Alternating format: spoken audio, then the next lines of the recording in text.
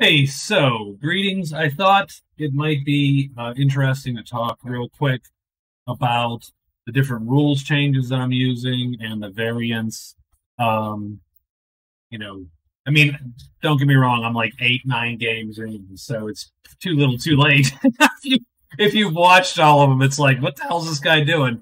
Um, but so, just a general overview I don't have any graphics or anything because I'm I'm old and technology uh, uh, crippled. So, um, so the first rule, very simple, is we use all the optional balance rules for characters in 10.6 in the third edition rulebook. So, like the captain gets one die on hires, the druid is uh, immune to he, he can peace with nature on sight chits as well as the red and yellow uh, warning and sound chits. Uh, he's immune to curses um, stuff like that. With the exception that we don't for the elf, we don't make him pick great elf or light elf because we don't do a lot of PvP typically in the games that uh, we play at home and online here. Um, and I really think that the elf really is very much a PvP character, and that that gold magic um, you know, is a little bit leans toward that. So we didn't think he needed him. Now, don't get me wrong. There's a lot of uh, freaking spell options with some of these extra spells that, um, that um, there's a lot of spell options. My tea's down here, so I gotta I gotta pay attention. Sorry about that. A lot of spell options for the elf, and we have to look at all of them and make sure that we're not sort of overpowering the elf with his movement abilities and so on. But but we don't nerf him right now. And you know, there's no game where we've seen where the elf just runs away with it and crushes everyone. So we're okay with how he he behaves. Uh, the dwarf, we use sort of a variant of the productive dwarf rule in Realm Speak. Now, the productive dwarf rule is actually a little clunky because it requires him to take two move phases to go anywhere.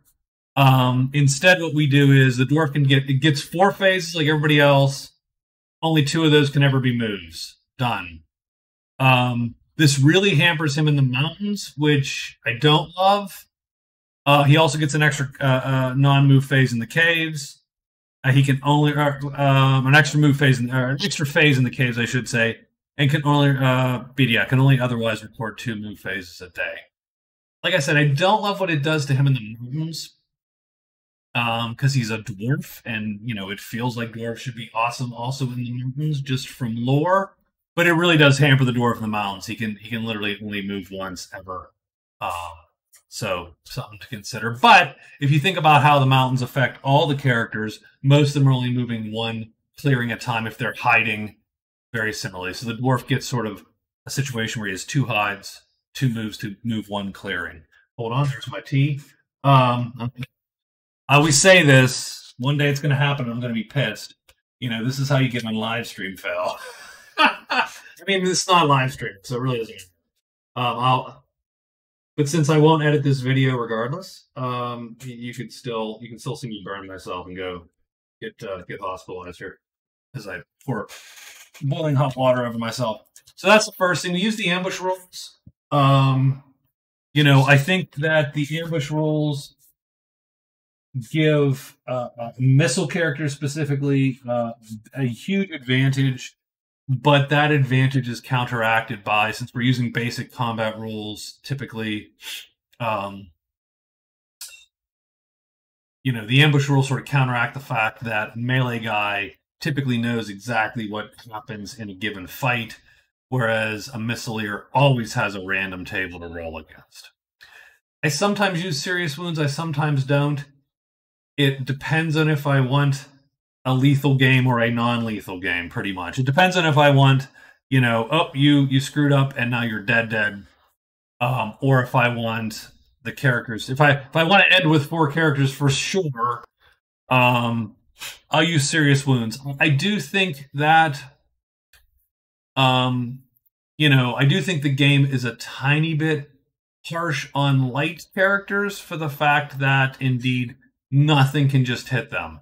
Um, you know, they can't wear any armor and they also can't get hit.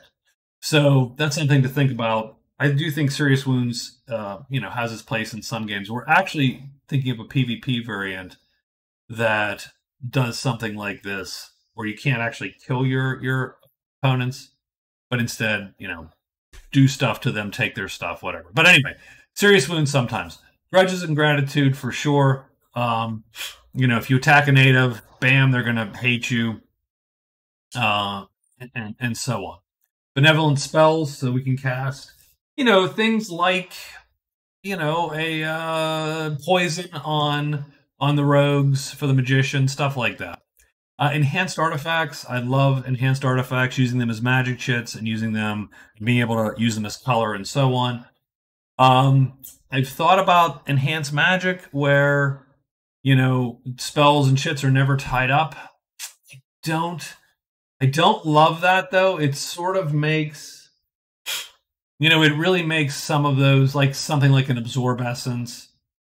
Um, you know, I, I I understand and I so want to do it because I do think that magic characters in some cases get a little bit of the shaft. Um, in some cases, I mean, obviously there's some powerful magic characters, but you know, but on the other hand, I, I, I think I think not tying up any chits makes all those permanent spells too crazy, right? I can just pop and absorb, or you know, and so on and so. Like I can I can absorb everything because there's no way that you're not going to get that absorb off, or there's no way you're going to get that transform off, right? And those become, um, you know, instant anything killers. Uh, and I think, uh, I think it cuts down on the utility of some other spells. Um, so, for instance, the the one that I would, uh, you know, always thought about was there's a, a spell ripped out of I don't know which which which expansion slash realm speak or whatever, which is drain life. It's a black spell. It hits. If it hits, it kills the monster, and then you you regain some some chits. Um, whereas you know why pick that instead of absorb? One's a combat spell; it has to hit. Absorb doesn't, right? So I I, I do keep uh, the spells and the chits tied up. Um, but I do like enhanced artifacts, and I've always thought about like, is there a middle ground somewhere that we could figure out? Uh, a cheesy, really stupid home brew is simply the fact that I add a single day to hire terms, so I don't count the first day effectively. You get 15 days for all intents and purposes. That's just a dumb tweak because I, I just hate the fact that that first day, you know, you can't hire someone and walk out, right? You have to hire them, you have to wait because you can't assign them to a guide and so on. I never loved that. I just added a day to the terms. It it's cheesy. It's one of those stupid tweaks. Um, you know, but I do do it, and I actually, strangely enough, like it a little bit. I like giving characters a two two full weeks, and I, I think, um, and and that's because of this. So so that's because of the other thing, this quest card variant.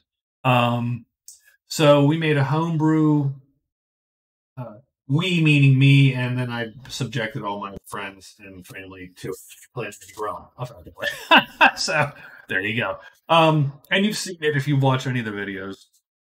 Essentially, super simple. At the beginning of the game, you get three quest cards.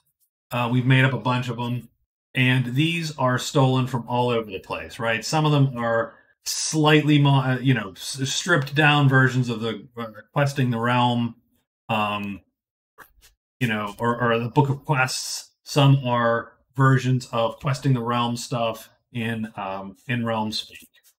Uh, the the so super quick, and this will take the most of the time. Unfortunately, I, I don't, you know, um, the the motivation behind it was to change up the base victory conditions, which we felt were getting very stale. You know, right? every character then had, well, you get a strategy for a character, or maybe two if you're a spellcaster. You always pick X, Y, and Z. You know, oh, two points in fame, three in notoriety for this guy, and he's going to nuke the rogues, or, um, you know, or hunt goblins, or, or you know, stuff like that.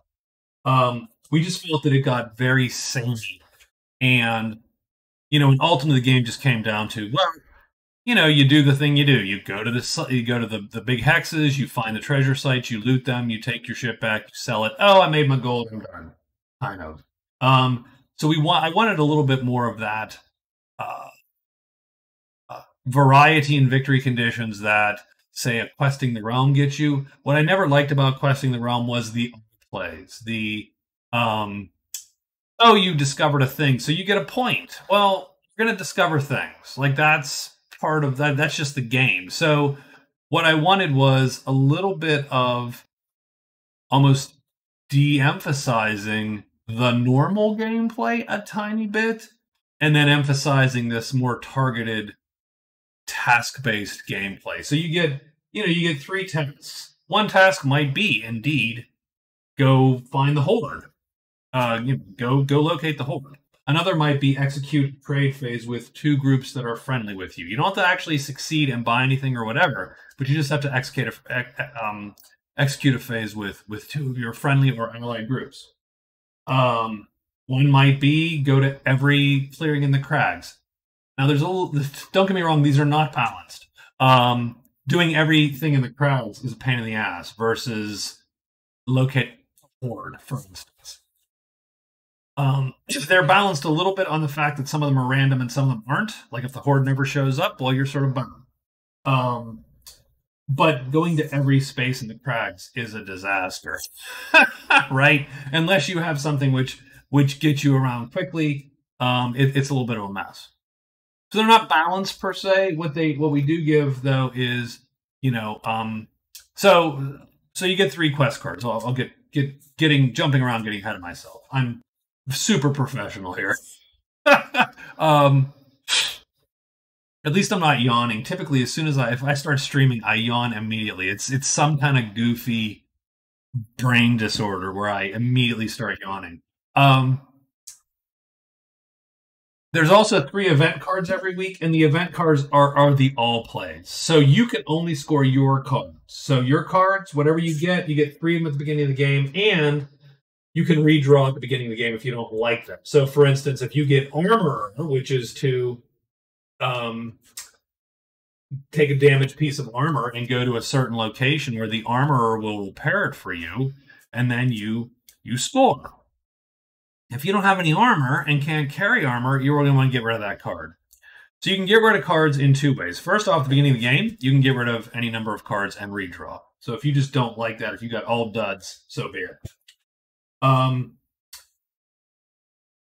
also, if you end your day in any dwelling, you can, regardless of your status there, you can redraw one all up to all your card. So, so you do have an option to sort of get a list of cards which the board is favorable to and your character is, and so on. Um, also, three event cards are drawn every week. Those are the all plays you know, those will put markers on the board like, oh, you to rescue the damsel in distress, or hey, the inn requires you to take barrels of ale to each of the other garrisons, and so on. Um, so there's a bunch of those. They come out three a week. I think three a week is the correct number. Um, I was going to tweak that, but it seems like it works out. Some some days you get players that are really on point and they're just knocking them out. By the way, there's always one event. So if we knock out three events, we will draw one for the rest of that week. If we knock that one out, we'll draw another one. There's always at least one event on the table. Then at the beginning of the week, we draw three more, and so on. Um, each task gives you one point and another reward. And the other reward is sort of where this goes wacky and and you know if if if a hardcore magic realm player is gonna gonna you know give me a punch they're gonna do it because of those rewards. Um, those rewards are anything from, you know, silly stuff like, oh, you get a potion or you get a couple bucks, um, to, or some prowess. And I'll talk about prowess in a second. To you get a spell and you get some chits to cast that spell, you know, uh, or you get to copy one of your chits, or you get a tough chit, which you can only use to wound and fatigue, stuff like that. And one of the reasons to do that, I felt, was just to open the game up. Is it balanced? Not not exactly. We've done a couple balance passes, and it, it's not horribly imbalanced, but it is not perfectly balanced either. Let's just understand that. Uh, is it randomy a little, and is it, you know, maybe has the option to over yes, power someone or you know make make something bizarre happen. Yeah, absolutely.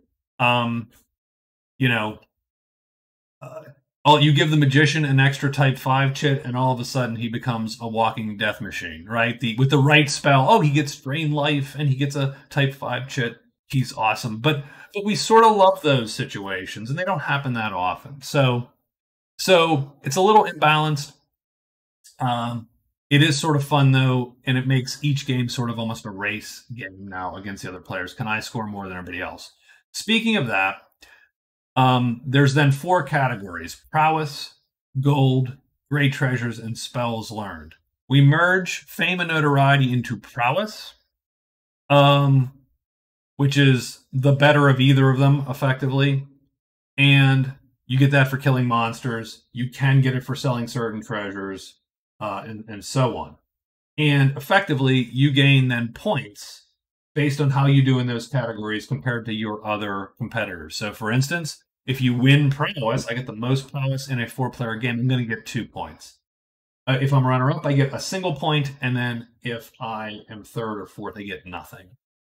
Uh, I'm not sure if those values are correct. What it means is there's eight points in play, and then however many points you get in cards. Very typically, we see people score, you know, four to five, six, seven points in cards, maybe. I've seen nine points. I've never seen double digits in cards yet. You know, so so there's an equal number of points sort of out there, but you're competing for those points very directly. And then there's a certain number of points on the board um, you know, for cards, right? There's eight points in categories, and there's uh, now keep in mind that it's rough, and and different characters are are having a hard time with some. For instance, if you're the Black Knight, it's going to be very difficult for you to get spells. You can because some of the quests give them to you, but that's super luck based. Um, you know, but you should get some. treasures You should get gold. You might get great treasures and so on. Um, it's just one of those things. I, one of these days, I would love to go through and just say, okay, what do I think this character should be good at getting, and are they do they have a chance, really an equal chance as everyone else, right? You know, for instance, you know who has the best chance to win the game given given that? Is it sorcerer? I never do well with the sorcerer in this, uh, strangely enough. So that does a couple things. Uh, it, it has a different effect on the game. One thing is it makes movement much more important um, you know, figuring out where your objectives are and if you can get there and and how quickly you can get there and how much it's going to cost you to get there in terms of time is super important. You know, so if I have a oh, do the crags, well the crags are here and I'm way down here at the at the guardhouse. Well, god dang it, I got a long way to go. I got to go through the borderland to get to the you know heck, I don't even know. Yeah, I had to get the borderland, and then boom, crags, and then one, two, three, all these mountains chained together. That's going to take me two weeks. Well, it's not worth it. Throw that part away, right? Uh, so it makes movement super important. It gives the Amazon a bonus. It gives the elf a bonus a little bit because the elf, you know, with that extra hide phase, effectively, you know, anyone with an extra phase, uh, that's saving you time, and that is super important in the questing game it makes the druid fairly powerful because again he is you know walking around with impunity in in many cases is like an extra phase um since you don't have to hide every day. Stuff like that. So it, it does sort of make uh, give movement a a bigger a, a huge part in the game. But the other thing it does is it it moves your victory conditions around and changes them on a more dynamic basis. You know, as opposed to me picking, well, I'm going to take a point in fame and a point in notoriety and a point in go or whatever. A, a, a, my uh, distribute my five points, and now I know I'm killing shit. I'm the berserker. I'm going to take some fame, three fame, two notoriety. I'm just going to kill stuff all day. Uh, I don't even care about gold. I don't care about treasures. Who knows? I'm just going to kill, kill, kill, kill. Well, that, that and that's great. Um, and then that's how you get, and, and I like that, but I do find it boring after, you know, a dozen years of this game or whatever. So this sort of uh, spreads it out. And now you could kill monsters all day, but you're only going to get two points. No matter what, it's two points. The max you can get, if you kill the most things of everybody else and you just kick the crap out, you get two points. And so the rest of the points you're going to get, you're going to have to find something else. Um, so I, I think it makes it harder for some of those big fighters to to win directly because they're competing on a different playing field all of a sudden. And you can't pick your own victory conditions exactly. Um, is that good or bad for the game? I don't know. I prefer it. I, I, I don't love going back to the original victory conditions anymore. I do enjoy uh, the new, you know, the the questy victory conditions. What I would like to do is I would like to sit down, redo all the quests, um, make sure they're balanced, try to get a little bit more narrative in them. That's the one thing that I failed at is they're very tasky. It's very MMO quest. It's very kill 10 rodents and, you know, bring me their tails kind of thing, right? Um, if you go here and do this thing, you will score. Don't get me wrong, Magic Realm's a board game. You know, it's it's it's its narrative is sort of in in what happens in between that. Uh, but it would be really cool, maybe um, maybe it wouldn't actually, but but something to think about would be would it be cool if um, we could make these quest cards mean something, right? You pull one, and then you pull this other one, and together, oh, this thing happens, and now all of a sudden you have a goblin invasion, um, and then the victory conditions change for everybody. That's maybe a different game, a different, uh, a different but something between Book of Quests and Questing the Realm, I think is is what what I would ultimately shoot for. Right now, we're very much closer to questing the realm, tweaking out some of the stuff I didn't like, which was mostly the all plays, just rewarded you for just playing the same game you were going to play anyway. Whereas what I wanted to do was reward you for not playing that game and trying to, you know, to get you to play this sort of other task based, location based sort of game. Um, I find it enjoyable. I don't know if other people would. Um, so the last thing is we do use a bunch of rando spells that I picked up off of various. They're not balanced necessarily. Every so often, I do a little pass and think, eh, should that be in there? Uh, most of the ones I've gotten rid of, fun, uh, humorously enough, are the ones that I wrote because I'm like, eh, I don't like that. Um, you know, and some of them play into this questing game. Ask Demon, for instance, lets you cheat the the deck, the uh, the quest card deck, um, instead of just asking a yes or no question because eh, that's that's not super exciting. But now it's something you might actually might do. Um, so yeah, I mean, uh, the, those are the the the changes that that I have made, and and that way, you know, just the idea would be that you would, you know, you'd be able to see and understand sort of the game a little bit better at some point I would like to. I got to figure out how to get this. Maybe get the rule change out there and post it somewhere so that people can can putz around and savage me on the internet for being a dumbass because uh, this is no good. but I still like it, so that's it. Thank you. Uh, if you're watching any of the videos, enjoy the videos. Uh, and that's it. Thanks.